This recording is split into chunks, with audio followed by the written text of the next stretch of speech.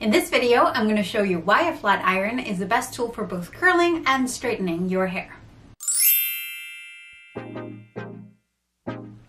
Hello there, I'm Fernanda, and recently I've gotten some questions about how I style my hair.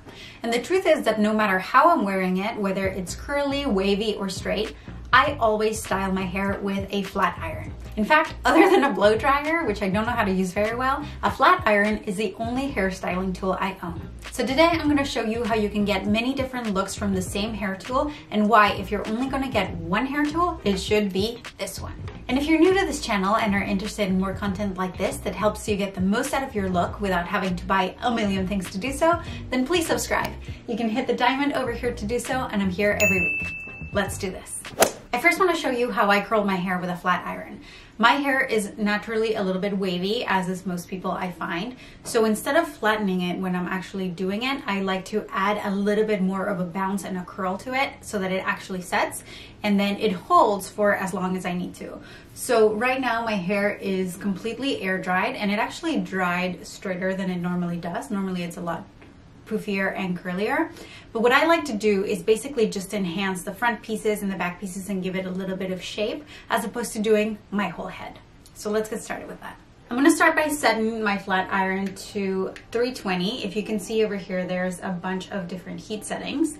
And I find that 320 is enough for my hair to actually curl and hold whatever style I'm putting into it without actually frying it, which I love.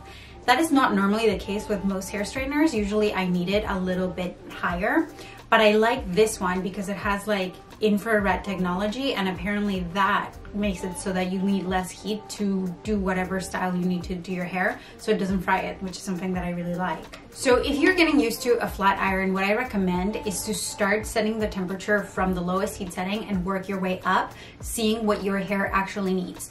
Different hair textures and thicknesses are gonna need different temperatures, but a lot of the times we just pick what we think is okay, and that tends to be a little bit higher than, than our hair actually needs to be able to hold the style that we're putting into it. While the straightener heats up, I'm gonna section the bottom half of my hair, and then I'm just gonna grab a hairbrush and run my hairbrush through it to make sure that there's no knots because I don't wanna fry my knots essentially. I don't wanna like flat iron my knots so that it will be harder to untangle my hair later. So this is something that I personally have a lot of practice with because I've been curling my hair with a flat iron since I was like 15.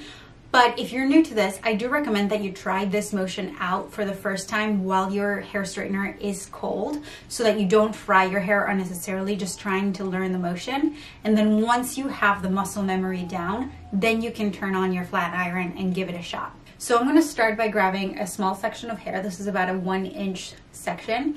And I personally like to go down on the hair and then flipping. I do recommend that you flip away from your face because that's kind of a more modern look. If you curl towards your hair, you're gonna get a more Hollywood starlit 1940s look, which might be something that you want, but it's not a very modern look. So for the sections that are around your head, go away from your face. So in this case, the motion is clamping down, clipping your hair, and then turning outside. So let me show you. Like that. Then I'm gonna flip it and then I'm gonna very lightly glide. And then as it's done, I'm just gonna give it another curl. And you see that? There's a curl. So I find that the slower you go, the more wrinklety it gets. I don't even know if wrinklety, wrinklety is a word. Is that a word? Probably not the slower you go, the more of a ringlet you will get. If you want softer waves, then you wanna press just as hard, but go a little bit faster so that you actually put a curl in the hair, but that you're not curling it so much that you end up with like bouncy curls like this, which you can always loosen later, but I'll show you that in a minute.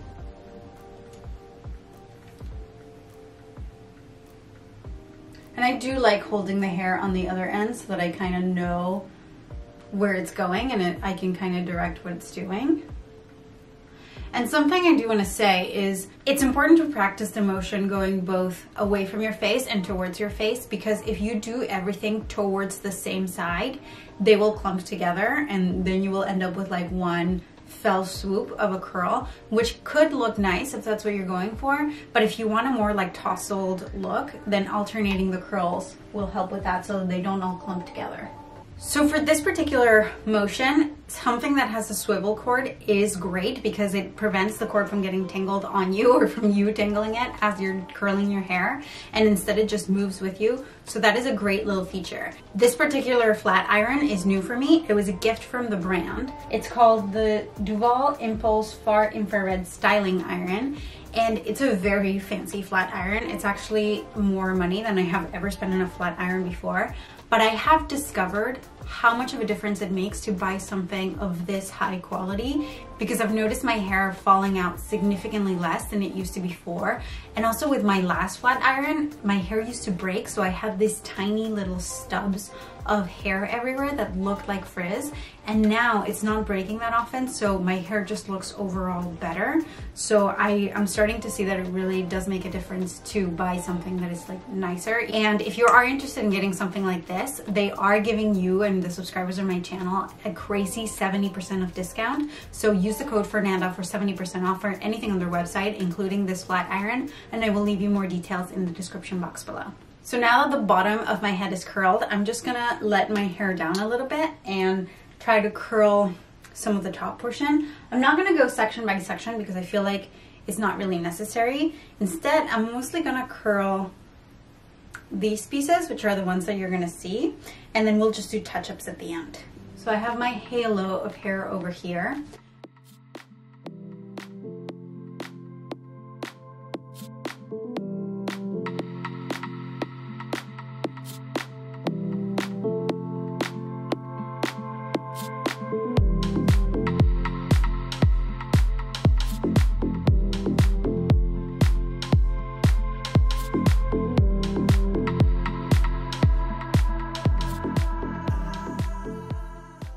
So now that the front of my head and all of the back is curled, I'm gonna let the rest of my hair down. And I'm just gonna shake the rest of my hair a little bit and see how we're looking.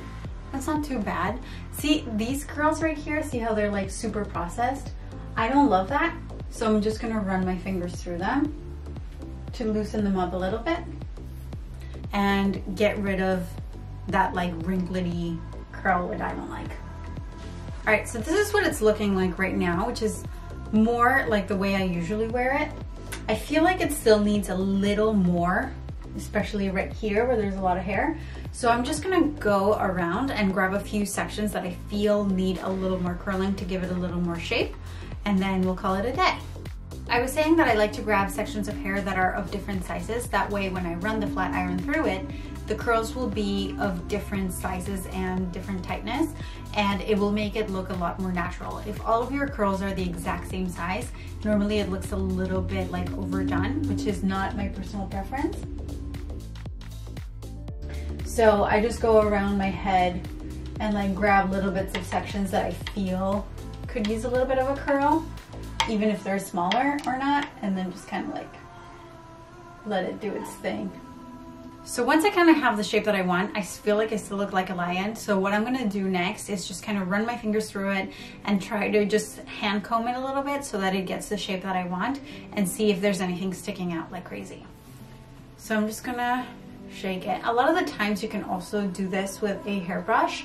I find that when I run my hairbrush through my hair, it, um, it flattens it more than I want to. So I like to do this with my fingers instead. And I'm doing this so that I break up the curls and it looks a lot more natural and not so...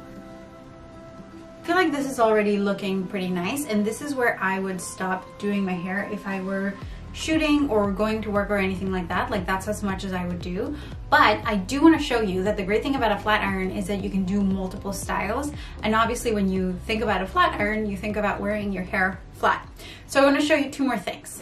Another thing that you can do is do your hair in like more beachy waves, like that salty look that you get when you've come out of the ocean. So I wanna show you how to do that. So you wanna grab your straightener like that, and as you pull down, you wanna press, and then slowly seesaw as you pull down.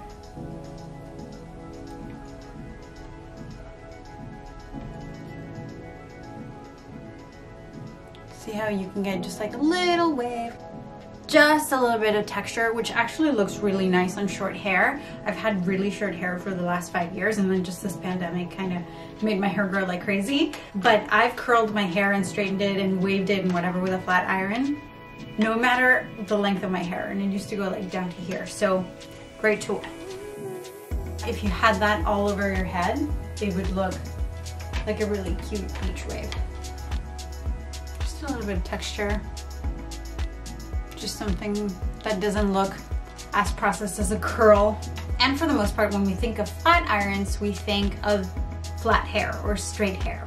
I personally don't love that. So what I like to do is just give it a little bit of an effect of a blow dry as I'm straightening my hair. So I have my hair right there, which I'm gonna brush. You can go straight and just give it no curl at the bottom and then just go pin straight if you want and that's what you like. Just like that.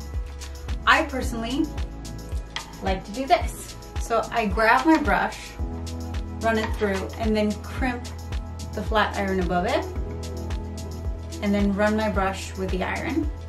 And then when I get to the end, I just flip my wrist a little bit, ever so slightly so that I get that curve that you would normally get with a round brush. So I have to say, I grossly underestimated how much work it is to do a tutorial on hair. So like my respect to all the hair gurus on YouTube because this is really hard. Brush, brush, brush, brush, lamp.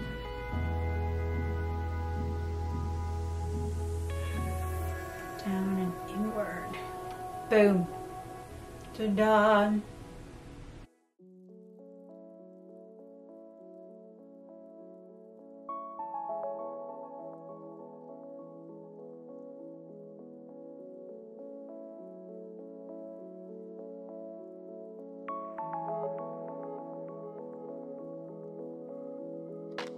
I'm doing this for the camera,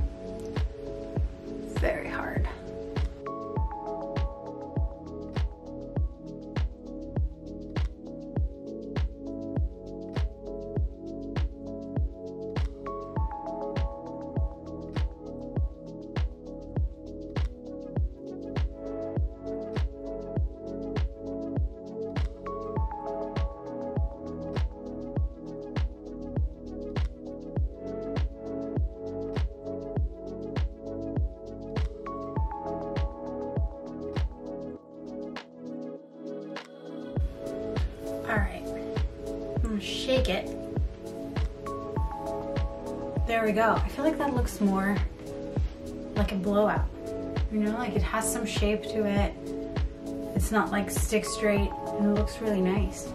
Usually after I'm done doing my hair, I do like to seal it with a couple of drops of an oil just to rehydrate it because of all the heat and to just make it look a little bit nicer and shinier. Right now I'm using this one by Briogeo. It's called Don't Despair Repair and it is a little bit expensive. I think it's like 20 something dollars for the bottle, which is a lot for one ounce, but a little goes a long way and usually you only need like two drops of it because if you use anything more then it gets very oily and I don't like that. So I start by running it through the ends. Oh, and it smells so good. And if you are in the market for a new flat iron, I highly recommend you check Duvolle's site out. I will leave you a link in the description box below and they were being very generous with the subscribers of my channel and they are offering you a 70% off discount with the code Fernanda off of their entire website, not just the flat iron and the hair tools, anything on their website. So I will leave that linked in the description box below for you to check it out, as well as the hair oil I just used in case you wanted to give it a go. If you like this video, then please don't forget to give it a big thumbs up and share it with a friend who might want to learn to curl her hair with a flat iron. And if you're looking for more hair care tips, I will leave you a video over here about how to prevent and care for split ends. And as always, thank you so much for watching. Don't forget to subscribe before you leave if you're new. And I'll see you very, very soon. Bye.